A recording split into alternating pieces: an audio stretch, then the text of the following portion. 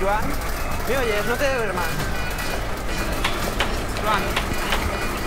Joan. Y código paro, ayuda, por favor. Ponemos tabla. Lo llevan de urgencia.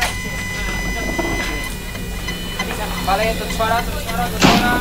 Vale, seguimos. Sí, que haurà millor de l'una, tercer.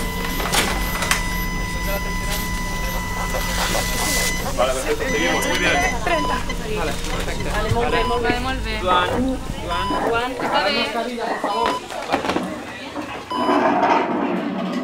Bien, chicos, fin del caso.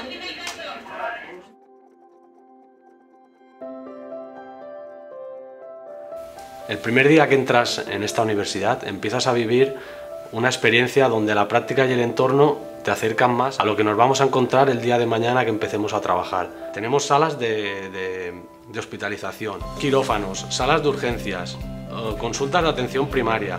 Esto es como un centro de entrenamiento idéntico al entorno real. Aquí aprendemos por ensayo y error. Repetimos los procedimientos una y otra vez hasta que los dominamos. Es por eso que hacemos prácticas en grupos reducidos y además, cuando queremos, podemos reservar espacios para hacer autoaprendizaje. Una de las prácticas que me ha gustado ha sido la del paciente estándar. Era básicamente lo que te puedas encontrar durante un día normal en una consulta.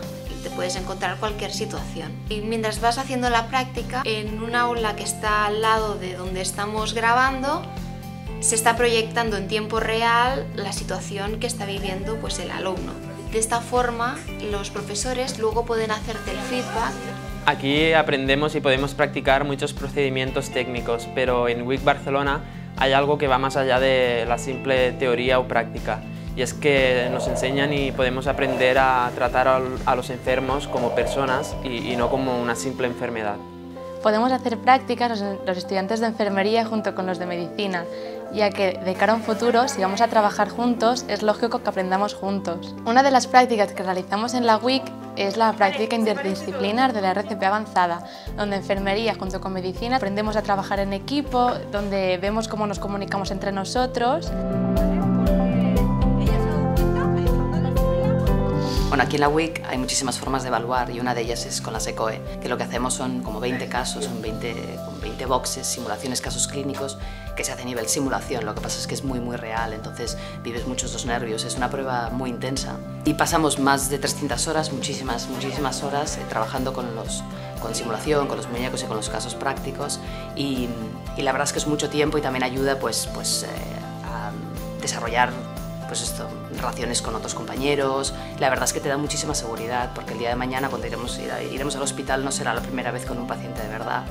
Ya habremos probado aquí y, y bueno, también esto repercute en la seguridad de los pacientes de verdad. Es decir, en el fondo estamos aquí pues esto para dar, para dar un servicio para curar, eh, con lo cual para ellos es bueno y para nosotros más.